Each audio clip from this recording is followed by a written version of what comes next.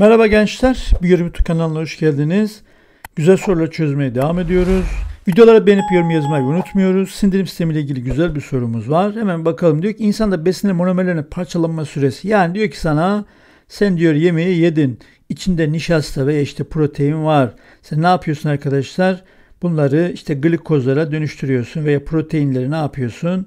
Amino asite dönüştürüyorsun değil mi? Bunun süresi diyor e, hangilerine bağlıdır? Yani Burada amilaz enzimi çalışıyor değil mi?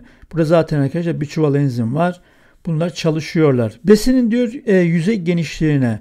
Arkadaşlar yüzey arttıkça enzimlerin ne yapar? Etkinliği artar değil mi? Yani substrat yüzeyi arttıkça reaksiyon hızlanır. Dolayısıyla bu süreyi ne yapar? Etkiler. Alınan besin sıcaklığını arkadaşlar bu neyi etkiler sıcaklık? Enzimlerin çalışma hızını etkiler değil mi?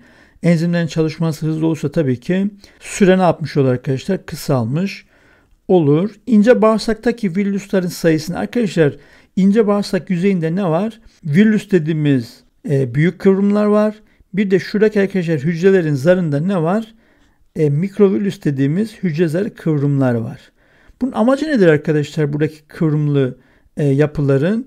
Besinlerin kısa sürede e, kana karışmasını sağlamak. Yani emilim yüzeyi artırılıyor burada. Sindirim hızlandırılmış olmuyor arkadaşlar. Bu ne yapıyor? Bu emilim yüzeyini artıran bir olay.